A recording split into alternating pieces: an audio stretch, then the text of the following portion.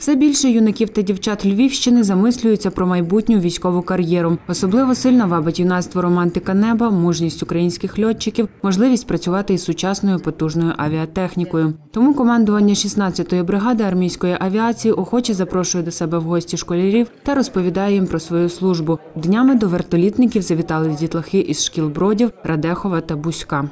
Розбирала е, пістолет е, Макарова. Дуже його важко було е, розбирати мені особисто. Ну, були думки піти в армію, попробувати, що то таке. Ну, я сьогодні дуже, дуже ну, важко, важко. Враження у мене, знаєте, як перший раз різні враження склалися, але кожне враження є в позитивному.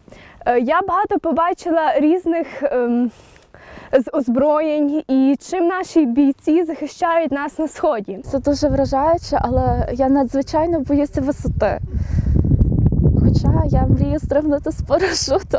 В кабіні Мі-24 юнаки уявляли, як пілоти відчувають себе в небі. Багато бачили, літали. Дуже хотіли, хотів побачити з- так зблизька, як сьогодні. Ну, така мрія моя збулася сьогодні. Навіть не думав, що тут стільки тих кнопок, механізмів. Думаю, що багато людей прийдуть сюди навчатися, захищати честь України. Організатори дня відкритих дверей кажуть, що молодь надзвичайно допитлива та захоплена романтикою військової служби. Багато цікавих питань задають по е, зброї.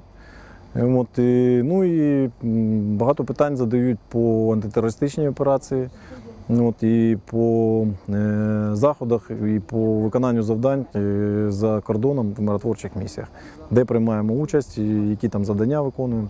Також школярів шанували пам'ять героїв-авіаторів, які віддали життя за свободу України в ході антитерористичної операції. Мар'ям Маркевич, Олексій Мазурін, Владислав Назаркевич, військове телебачення.